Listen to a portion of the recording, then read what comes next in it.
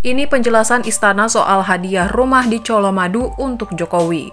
Presiden Joko Widodo bakal memiliki rumah hadiah dari negara di daerah Colomadu, Kabupaten Karanganyar, Jawa Tengah. Deputi Bidang Protokol, Pers dan Media Sekretariat Presiden, Bey Mahmudin mengatakan sesuai dengan Undang-Undang Nomor 7 Tahun 1978, negara menyediakan sebuah rumah kepada mantan presiden dan mantan wakil presiden. Rumah dengan tanah seluas 3.000 meter persegi tersebut akan dihuni Jokowi usai purna menjabat presiden pada tahun 2024. Untuk diketahui, harga tanah di sana mencapai 10 juta rupiah per meter. Negara melalui Kementerian Sekretariat Negara telah menyelesaikan pengadaan tanah untuk rumah kediaman Presiden RI Joko Widodo di Colomadu. Bey menjelaskan dalam penyediaan rumah kepada Presiden Jokowi, sebetulnya sesuai dengan ketentuan, rumah tersebut dapat diperoleh setelah menyelesaikan periode pertama jabatan Presiden RI 2014 sampai 2019.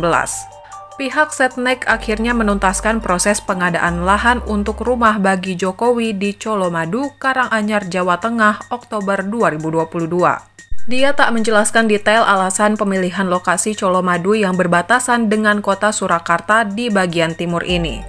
Baru pada Oktober 2022, negara melalui Kementerian Sekretariat Negara telah menyelesaikan proses pengadaan tanah untuk rumah kediaman bagi Pak Jokowi yang berlokasi di kawasan Kecamatan Colomadu, Kabupaten Karanganyar, Jawa Tengah.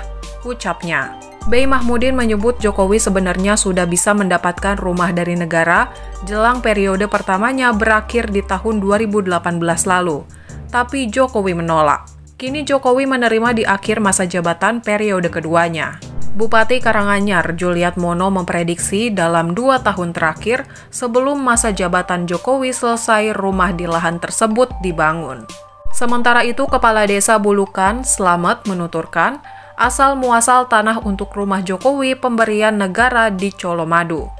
Selamat menuturkan tanah yang terletak di sebelah timur rumah makan Taman Sari di Jalan Adi Sucipto itu sudah puluhan tahun tidak digunakan.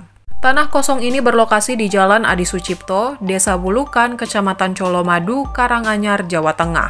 Selamat menyebut tanah itu sebelumnya milik bos Rosalia Indah, Justinus Suroso. Selamat mengaku tidak tahu menahu soal jual beli tanah tersebut. Sepengetahuannya, pihak pemerintah desa pernah diminta mendampingi pengukuran tanah. Kami pernah diminta bantuan mendampingi pengukuran batas timur dan barat sekitar enam bulan lalu, ucapnya. Adapun pemberian rumah dari negara itu diatur dalam Peraturan Presiden Nomor 52 Tahun 2014 tentang pengadaan dan standar rumah bagi mantan presiden dan atau mantan wakil presiden Republik Indonesia. Perpres 52 2014 itu ditetapkan di Jakarta pada 2 Juni 2014 oleh SBY. Lalu seperti apa hadiah rumah pemberian negara untuk SBY? Mantan Presiden RI ke-6 Susilo Bambang Yudhoyono justru mendapatkan hadiah rumah mewah dari negara di kawasan elit Jalan Mega Kuningan Timur 7, tepatnya di belakang Kedutaan Besar Qatar di Jakarta. Tak pelak membuat harga hunian yang ditempati SBY tersebut selangit. Estimasi nilai properti mencapai 300 miliar rupiah dengan luas tanah mencapai 5.000 meter persegi. Rumah minimalis mewah yang dibalut kombinasi warna coklat muda dan tua itu ditempati SBY sejak pertengahan tahun 2017 silam.